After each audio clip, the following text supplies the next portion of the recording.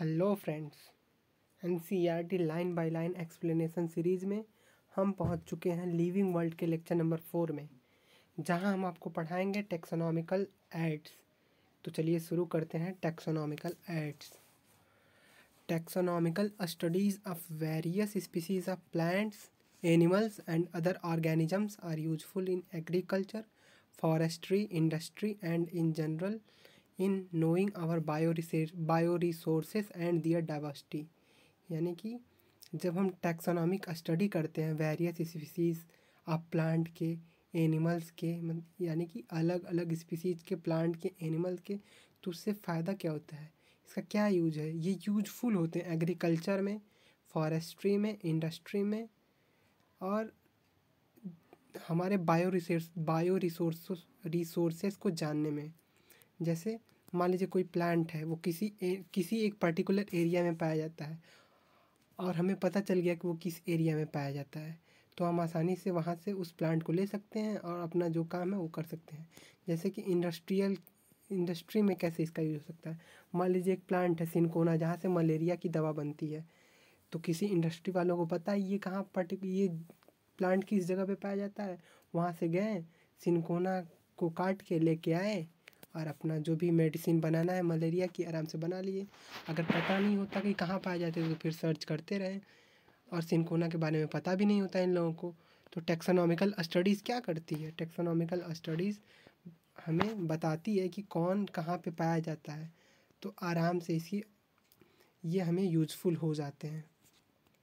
These studied would require correct classification and identification of organisms यानी कि ये जो स्टडी है टेक्सोनॉमिकल स्टडीज़ ये हमें बताती है करेक्ट क्लासिफिक ये रिक्वायर्ड होती है इसके लिए correct classification and identification of organism यानी कि अगर किसी चीज़ की टेक्सोनॉमिकल स्टडीज़ करनी है तो इसके लिए हमें उसकी करेक्ट क्लासिफिकेशन और उस ऑर्गेनिज्म की आइडेंटिफिकेशन पता होनी चाहिए।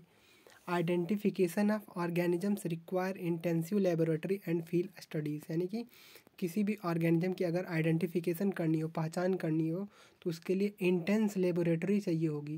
यानी कि बहुत बड़ी लेबोरेटरी लैब चाहिए होगी और फ़ील्ड स्टडी, यानी कि बहुत ही बड़ी फ़ील्ड स्टडी चाहिए होगी। इसका क्या मतलब है? इसका मतलब है कि अगर हमें कोई चीज़ कोई चीज़ हम मान लीजिए डिस्कवर कर लिए, कोई नया प्लांट की स्पीसीज डिस्कवर कर लिए और हमें उसके बारे में कुछ पता नहीं है तो हम लोग उसके लिए बहुत सारे जो मोनूमेंटल डिस्क्रिप्शन यानी कि रिटर्न फॉर्म में जो डिस्क्रिप्शन लिखे गए हैं, उनसे मैच करवाएँगे। जो पहले से रिकॉर्ड करके रखे हुए लैब में मैच करवाएँगे इनसे क्या सिमिलरिटीज़ हैं, क्या डिसिमिलरिटी हैं, किससे सिमिलरिटी मिल रही है, किससे नहीं मिल रही है। तो इससे पता चल पाएगा कि ये किस स्पीसी किस जीने से ज़्यादा मिलता जुलता है, उसी के हिसाब से हम इसको कैटेगराइज कर पाएँगे। यानी कि किसी भी किसी भी प्लांट या एनिमल की अगर आइडेंटिफिकेशन करनी हो तो उसके लिए इंटेंस लेबोरेटरी और फ़ील्ड स्टडीज़ चाहिए होगी। The collection of actual specimens of plant and animal species is essential and is the prime source of taxonomic studies यानी कि किसी भी चीज़ की अगर टेक्सोनॉमिकल स्टडी करना हो तो पहले वो चीज़ तो होनी चाहिए, यानी कि उसका कलेक्शन तो होना चाहिए। तो एन लिख रही है कि कलेक्शन ऑफ़ एक्चुअल स्पीसमीन चाहे वो प्लांट हो चाहे वो एनिमल हो, ये क्या है? प्राइम सोर्स है टेक्सोनॉमिक स्टडीज़ का। यानी कि अगर टेक्सोनॉमिक स्टडी करनी है तो हमें उस स्पेसिमिन जो कि या प्लांट का हो सकता है या एनिमल का हो सकता है, वो हमारे पास होना चाहिए। वही prime source of taxonomic studies है।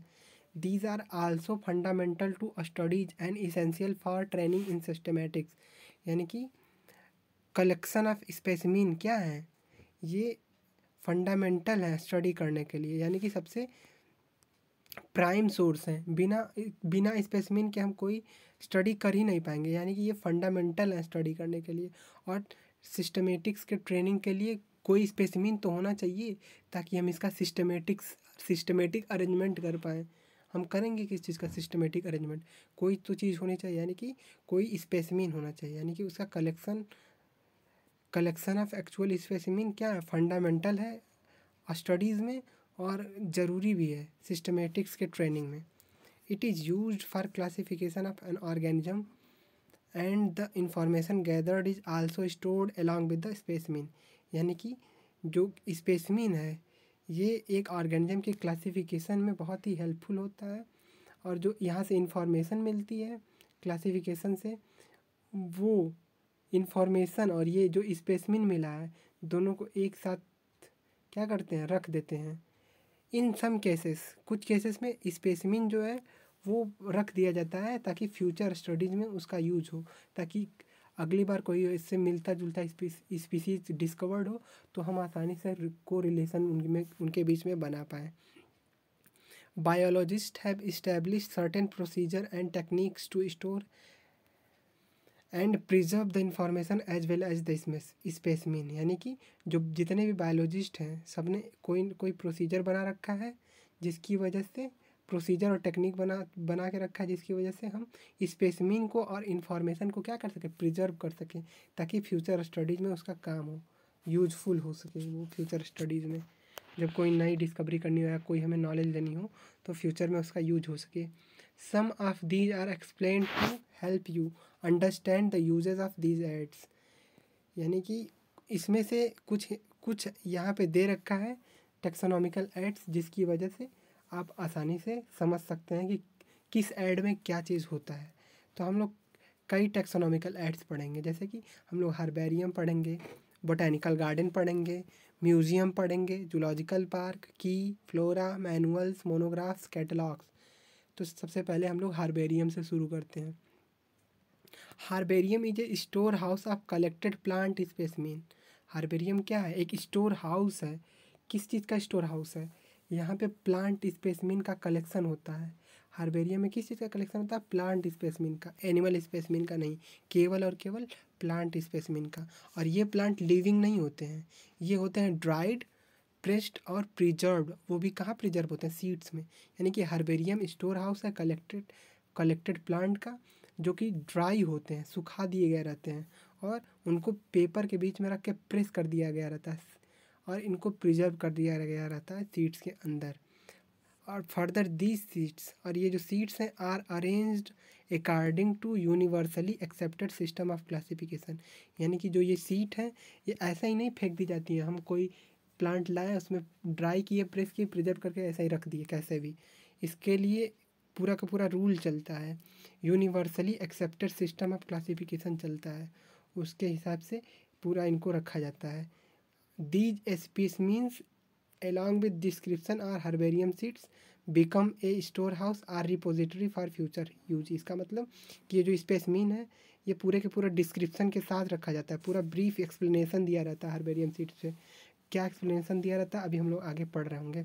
और ये क्या करता है, जब हम स्पेसिमिन रख देंगे कोई प्लांट का और उसका पूरा का पूरा डिस्क्रिप्शन रख देंगे तो ये कभी भी फ्यूचर में आसानी से इसकी स्टडी करनी हो या इससे कोई को रिलेशन बनाना हो तो आसानी हो जाएगी इसके लिए। द हर्बेरियम सीड्स और herbarium seeds also carry a label providing information about date and place of collection English local and botanical name family name collectors name यानी कि हर्बेरियम सीड्स पे क्या क्या लेबल किया रहता है कौन कौन सी डिस्क्रिप्शन की रहती है, वो यहाँ से कई बार क्वेश्चन बहुत बार क्वेश्चन पूछा जा चुका है कि हर्बेरियम पे कौन सी, कौन सा डिस्क्रिप्शन नहीं होता है। तीन ऑप्शन दे देंगे इनमें से, जो यहाँ पे दे दे रखा है, और एक अलग से दे देंगे और आपको पहचानना रहेगा। जैसे कि क्या क्या देता है ये? ये बत, किस डेट को कलेक्ट किया गया प्लांट वो देता है, किस प्लेस से डेट और प्लेस दोनों दे रखा होता है। और इसका इंग्लिश नेम क्या है? इस प्लांट का इंग्लिश नेम क्या है? और इसका लोकल नाम क्या है? और इसका बोटेनिकल नाम क्या है? इसकी फैमिली का क्या नाम है? और इसका कलेक्टर कौन है? ये सब दे रखा होता है इन्होंने। किस डेट को कलेक्ट किया, किस प्लेस से कलेक्ट किया, इसका इंग्लिश नेम क्या है लोकल नेम क्या है बोटेनिकल नेम क्या है फैमिली क्या है कलेक्टर का क्या नाम है, ये सब भी इन्होंने दे रखा होता है। जैसे मान लीजिए हम, आम, मान लीजिए हम मैंगो का एक एग्ज़ाम्पल ले लेते हैं। तो मैंगो मान लीजिए हमने ट्वेंटी ट्वेंटी टू में कलेक्ट किया। ट्वेंटी ट्वेंटी टू में कलेक्ट किया मान लीजिए चार अप्रैल ट्वेंटी ट्वेंटी टू को किया तो हमें डेट देना पड़ेगा। प्लेस मान लीजिए हमने प्लेस दिल्ली से दिल्ली से हमने मैंगो को कलेक्ट किया। तो हमें डेट भी देना पड़ेगा और प्लेस भी। और इसका इंग्लिश नेम हो जाएगा मैंगो लोकल नेम हो जाएगा आम। और इसका बोटेनिकल नेम क्या हो जाएगा? बोटेनिकल नेम हो जाएगा मैंजी फेरा इंडिका और इसकी फैमिली क्या हो जाएगी? फैमिली एनाकार्डिएसी और कलेक्टर्स मान लीजिए आपका नाम आपका नाम जो भी हो, वो चिंकी, मिंकी, बबलू जो भी हो, वो कलेक्टर्स का नाम हो जाएगा। Herbaria also serve a quick referral system in taxonomic studies यानी कि हार्बेरिया का हार्बेरिया का क्या यूज़ है? क्विक रिफरल सिस्टम है। यानी कि अगर किसी प्लांट का डिस्क्रिप्शन जानना हो गए ये एक सीट्स में अरेंज होते हैं गए धीरे से खोले, आराम से तुरंत पढ़ लिए तो ये एकदम जस्ट मतलब एकदम क्विक रेफरेंस देते हैं किसी भी प्लांट्स के बारे में। उसके डिस्क्रिप्शन को मतलब जल्दी हमें प्रोवाइड करवा देते हैं। तो ये क्या हो गया? क्विक रेफरल सिस्टम और ये बहुत ज़्यादा इंपॉर्टेंट है। कई बार क्वेश्चन पूछ सकता है कि which of the following taxonomical aids is use for quick referral system option दे देगा herbaria botanical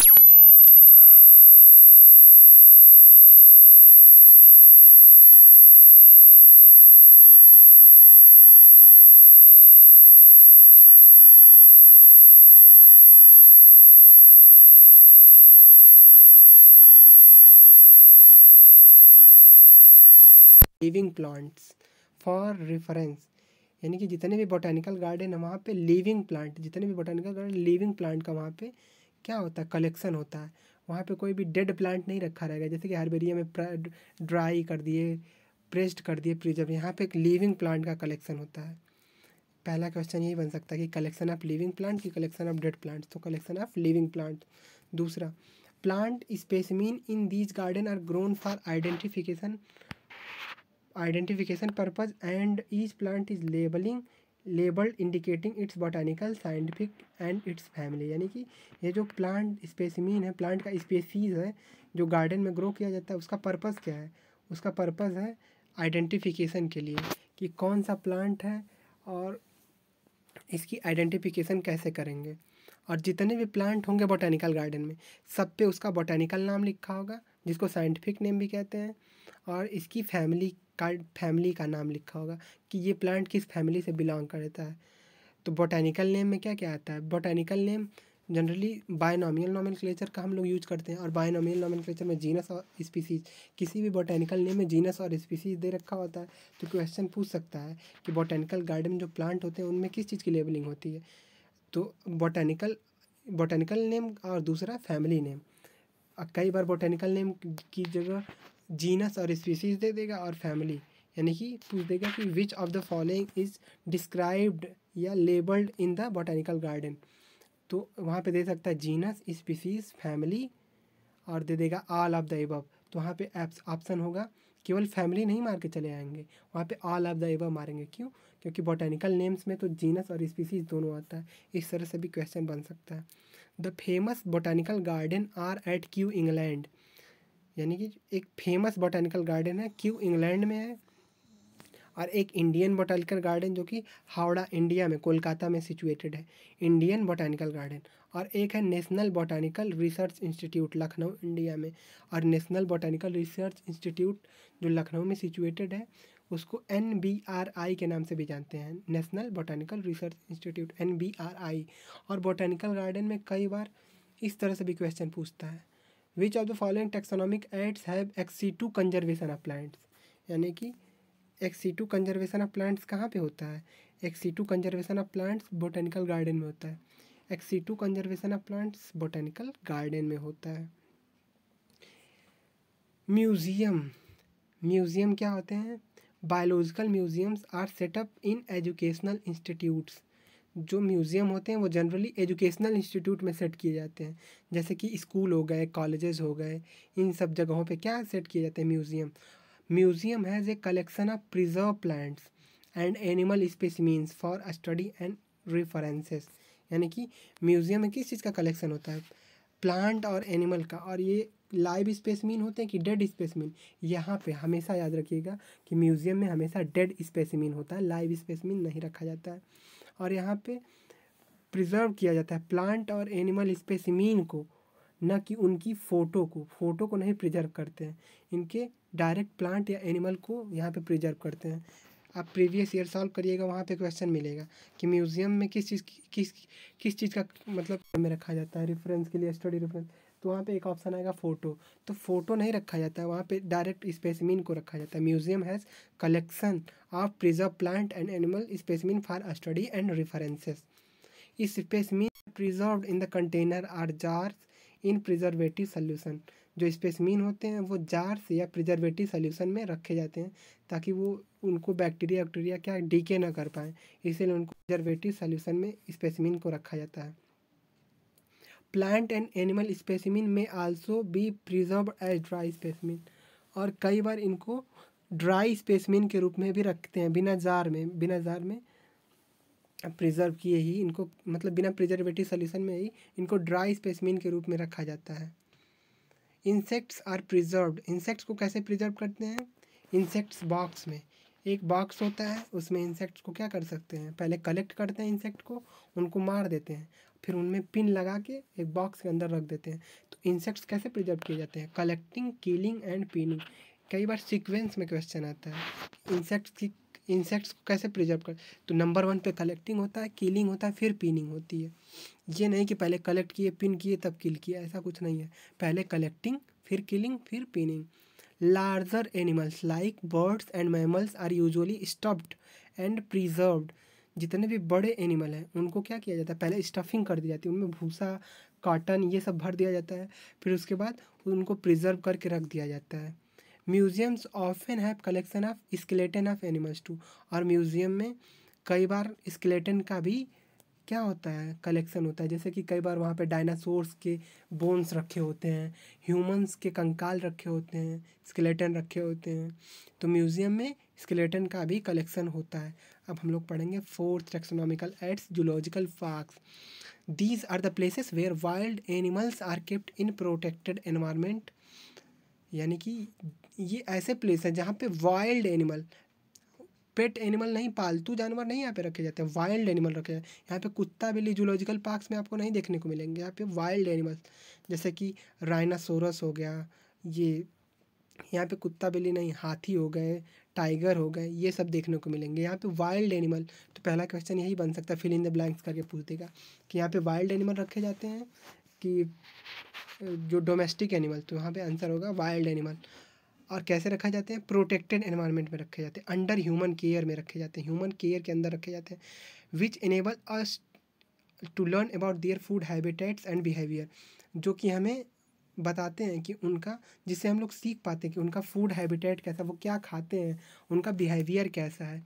All animals are zoo as are provided as far as possible the condition similar to their natural habitats और जितने भी animals जू में रहते हैं, उनको वैसा ही कंडीशन में रखा जाता है, जैसे कि वो जंगलों में उनका कंडीशन उनका नेचुरल हैबिटेट जैसा है। जंगलों में जैसे, वैसे ही कंडीशन प्रोवाइड करने की कोशिश की जाती है। Childrens love visiting these parks commonly called zoos. और बच्चों को जू, जूलॉजिकल पार्क का शॉर्ट फॉर्म है जू। जू में जाना बच्चों को बहुत ही बेहद पसंद होता है।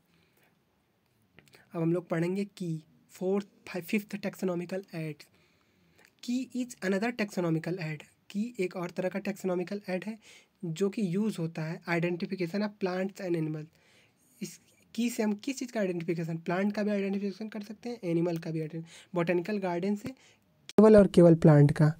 और जूलॉजिकल पार्क से जूलॉजिकल पार्क से एनिमल का। म्यूजियम्स में तो प्लांट और एनिमल दोनों स्पेसिमिन रखे जा सकते हैं। की में भी प्लांट और एनिमल दोनों तरह के स्पेसिमिन रखे जा सकते हैं।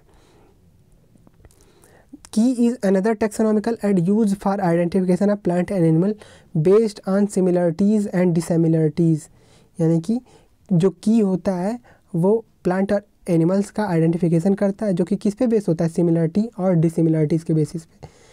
The key are based on the contrasting character generally in pair called couplet जो की होता है वो कंट्रास्टिंग कैरेक्टर दो अलग अलग विरोध वाले कैरेक्टर जो एक दूसरे को कंट्रास्ट अपोजिट कैरेक्टर होते हैं।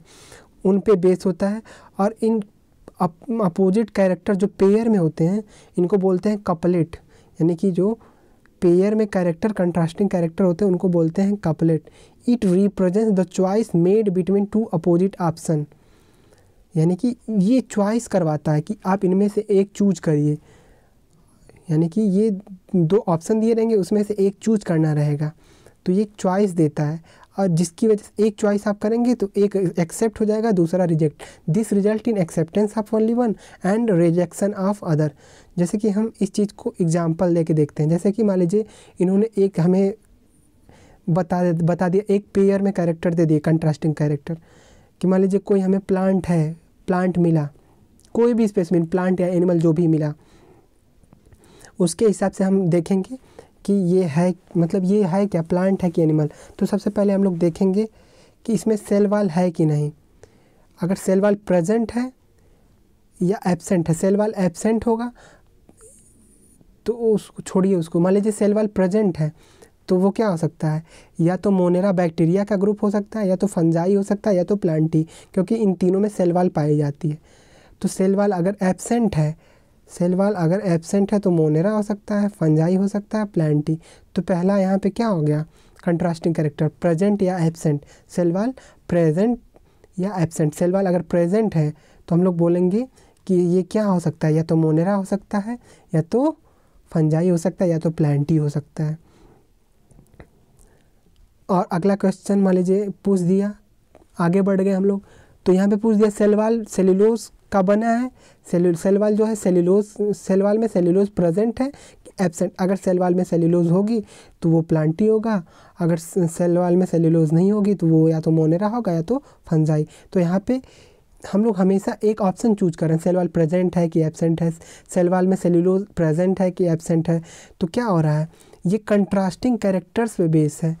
और ये कंट्रास्टिंग कैरेक्टर एक पेयर में है और हर एक पेयर्ड कंट्रास्टिंग कैरेक्टर को बोलते हैं कपलेट और यहाँ पे हमेशा एक चॉइस बनी रही, दो ऑप्शन के बीच में प्रेजेंट या एबसेंट तो हमेशा यहाँ पे चॉइस बन रही है, जिसमें एक चीज़ को एक्सेप्ट किया जा रहा है और एक चीज़ को रिजेक्ट किया जा रहा है। Each statement is in the key is called a lead और जब भी एक स्टेटमेंट को हम लोग यहाँ पे क्या करते हैं पिक कर लेते हैं, जैसे कि प्रेजेंट या एबसेंट अगर प्रेजेंट थे तो हम लोग बोले थे कि मोनेरा होगा, या तो फंजाई होगा या तो प्लांटी। तो हमेशा और अब दूसरे स्टेप पे हम लोग चले गए। Cell wall cell wall cellulose cell wall में सेलुलोज है कि नहीं? प्रेजेंट है कि एबसेंट? तो हम लोग जान पाए कि ये प्लांट है। तो हमेशा हम लोग एक लीड चले जा रहे हैं, एक कैरेक्टर आगे चले जा रहे हैं आइडेंटिफिकेशन के पर्पज़ से। तो each statement in the key is called a lead. हर एक स्टेटमेंट इसमें क्या है? एक लीड ले रहा है। तो हर एक स्टेटमेंट इसमें क्या कहलाएगा? Lead. Separate taxonomic key are required for each taxonomic category such as family genus and species for identification purpose यानी कि अलग अलग टेक्सोनॉमिक की की ज़रूरत होती है, अलग अलग टेक्सोनॉमिक कैटेगरी या रैंक या टेक्सॉन को स्टडी करने के लिए। जैसे मान लीजिए स्पीसीज़ का हमें स्टडी करना है तो उसके लिए अलग टेक्सोनॉमिक की हमें जीनस का करना है तो उसके लिए अलग स्पीसीज़ का करना है अलग फैमिली का करना है तो हर एक कैटेगरी के लिए अलग अलग टेक्सोनॉमिक की की ज़रूरत होती। है key are generally analytical in nature और जो ये की होते हैं, वो एनालिटिकल नेचर के होते हैं। यानी कि यहाँ पे एनालिसिस करनी पड़ती है। तो क्वेश्चन बनता है which of the following taxonomic category is analytical in nature key botanical garden zoological botanical garden zoological parks none of the above तो आंसर होगा की key is the analytical in nature flora manuals monographs and catalogues flora manuals monograph और catalogue क्या है? Other mean of recording description ये description चीज़ों का description करने में, चीज़ों को एक्सप्लेन करने के लिए, ये सब रिकॉर्ड चीज़ों का डिस्क्रिप्शन का रिकॉर्ड रखने के लिए फ्लोरा मैनुअल्स मोनोग्राफ्स कुछ और तरीके हैं, अन्य तरीके हैं जिसकी वजह से हम डिस्क्रिप्शन का रिकॉर्ड रख पाते हैं। They also help in correct identification ये भी हमें हेल्प करते हैं करेक्ट आइडेंटिफिकेशन किसी प्लांट या एनिमल को जानने में। फ्लोरा कंटेंट अब फ्लोरा हम लोग पढ़ेंगे, ये क्या होते हैं? फ्लोरा मतलब फ्लावर से रिलेटेड यानी प्लांट तो flora contain the actual account of habit and distribution of plant of a given area यानी कि किसी गिवन एरिया में किसी प्लांट का हैबिट और डिस्ट्रीब्यूशन जानना हो तो कौन प्रोवाइड करता है? Flora these provide the index to the plant species found in a particular area यानी कि जो फ्लोरा है, वो प्लांट स्पीसीज़ का क्या करता है? इंडेक्स प्रोवाइड करता है कि ये किस एरिया में रहते हैं, किस पार्टिकुलर एरिया में रहते हैं। तो इंडस्ट्री के पर्पज़ से ये ईजी हो जाएगा कि हमें पता चल गया कि कौन सा प्लांट कहाँ रहता है तो आराम से गए, वो प्लांट वहाँ से ले लिए, नहीं तो खोजते रहिए। तो क्या होता है ये? इंडेक्स प्रोवाइड करते हैं कि कौन से प्लांट की स्पीसीज़ कहाँ पे पाई जाती है।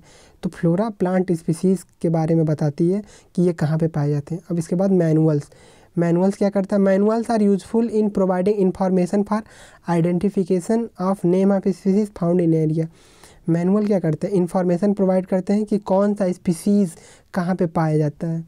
Manuals are useful in providing information for identification of name of species found in area यानी कि कौन सा स्पीसीज किस एरिया में पाया जाता है तो मैनुअल्स का यूज़ किया जाता है। हम लोग पढ़ चुके फ्लोरा में मतलब फ्लोरा मतलब फ्लावर यानी कि प्लांट फ्लावर क्या एक प्लांट ही तो होता है। तो प्लांट कौन सा, कहाँ पे पाया जा रहा है? प्लांट की स्पीसीज़ तो हम लोग फ्लोरा यूज़ करेंगे। लेकिन अगर किसी भी स्पीसीज़ का नेम किस एरिया में कौन सी स्पीसीज़ पाई जाती है, उसका यूज़ करना हो तो मैनुअल्स ये लाइन आपको याद होनी चाहिए, जितनी भी लाइन है एन की लैंग्वेज याद होनी चाहिए। हमें या मतलब समझ में तो आना ही चाहिए, साथ में लैंग्वेज पे कमांड होना चाहिए। क्वेश्चन ऐसे ही पूछेगा कि manuals are useful in providing information for identification of name of species found in area manuals एक स्टेटमेंट बेस्ट क्वेश्चन में आ गया, बताइए ट्रू है कि फॉल्स तो ट्रू हो जाएगा वहाँ पे। यहाँ पे मैनुअल्स की जगह मान लीजिए फ्लोरा लिख दिया, या कुछ और लिख दिया, या तो ये ट्रू या फॉल्स के बेसिस पे पूछ दिया तो ये स्टेटमेंट ट्रू हो जाएगा। मोनोग्राफ कंटेन मोनो का मतलब होता है एक सिंगल तो monograph contain information of any one taxon या any one rank any one category यानी कि monograph contain information of any one taxon या तो स्पीसीज हो गया, या तो जीनस या तो फैमिली कोई भी कोई भी आप हैरकी उठा लीजिए, उसमें से केवल एक टेक्सान का क्या करेगा ये? इन्फॉर्मेशन रखेगा। मोनोग्राफ मोनो का मतलब सिंगल यही लाइन सीधे सीधे पूछेगा कि monograph contain information of any one taxon इसके बाद हम लोग बायोनोमियल नॉमल पढ़े थे। तो बायोनोमियल हम लोग जानते हैं कि कैरलस लिनियस की बुक है सिस्टेमा नेचुरी सिस्टमा नेचुरी और कैरलस लिनियस ने बायोनामियल नॉमन दिया था। मान लीजिए आ गया क्वेश्चन नीट में कि बायोनॉमियल नॉमन कौन दिया था? तो आंसर होगा कैरलस लिनियस दूसरा क्वेश्चन आ गया कि बायोनॉमियल नॉमन किस बुक में दिया था? सिस्टम एंड नेचुरी में, आप लोग जानते हैं system and नेचुरी N C biology में दे रखी है। तो आप लोग तुरंत मारेंगे सिस्टम एंड नेचुरी लेकिन वो गलत हो जाएगा। कैरलस लिनियस की एक और बुक है फिलासफिका बोटानिका जिसमें जिसमें इन्होंने क्या दिया? बायोनॉमियल नॉमन को दिया है। तो बायोनॉमियल नॉमन किस बुक में दिया है? फिलासफिका बोटानिका में। इसके बाद हम लोग समरी पढ़ रहे होंगे। समरी क्यों पढ़ेंगे? क्योंकि समरी में कई पॉइंट्स ऐसे दे रखे होते हैं जो टेक्स्ट बुक में नहीं दे रखे हैं। इसीलिए हमें समरी पढ़ना पड़ेगा। और इसमें मैंने मेन चीज़ें जो मेन टेक्स्ट बुक में नहीं है, वो मैंने हाईलाइट करके रखा हुआ है।